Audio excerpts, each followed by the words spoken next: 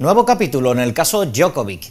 El gobierno australiano acaba de anular el visado del serbio por segunda vez.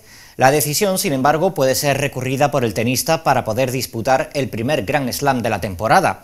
Los organizadores de este torneo cuentan con el deportista tras incluirlo en el sorteo que se celebró este pasado jueves.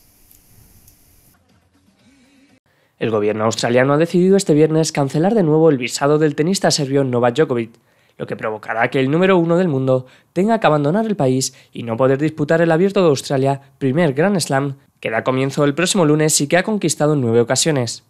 Según apuntó el ministro de Inmigración del país, Alex Couke, la decisión se ha tomado por motivos de salud y de buen orden, sobre la base de que era de interés público hacerlo. La semana pasada Australia denegó la entrada en el país al número uno del mundo por no cumplir los requisitos de entrada a nivel sanitario, pese a que ésta había viajado con una exención médica ya que no estaba vacunado contra el coronavirus. Ahora Djokovic podría apelar de nuevo y la decisión se conocería el domingo.